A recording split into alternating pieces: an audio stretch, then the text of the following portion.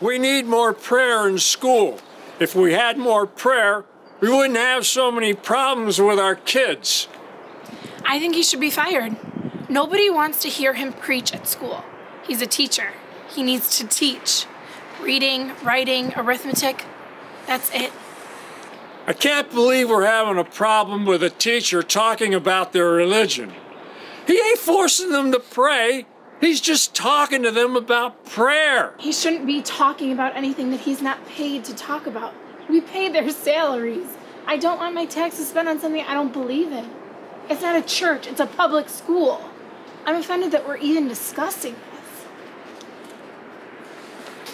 There has to be a separation of church and state.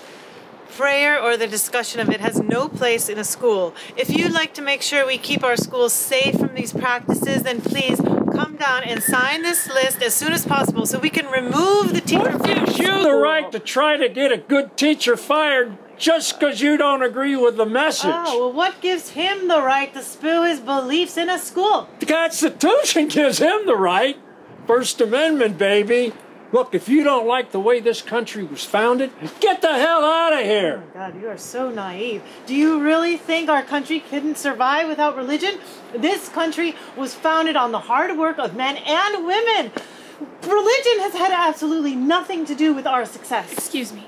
So my five-year-old niece has to recite some religious bull that she doesn't believe in? It's not a religious bull. Oh. It's the Pledge of Allegiance.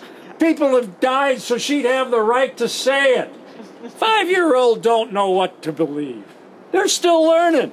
You ain't even giving her a chance. Oh, you ain't even giving her a chance. If there was a God, you'd think he'd have given you a grasp of the English language. It's not about how I speak. It's what I believe and who I believe Ugh, in. You know what I believe in? I believe in fresh breath and a shower every morning. You know, you should believe in that too. And a little dental floss wouldn't hurt either. You always throw money around like this?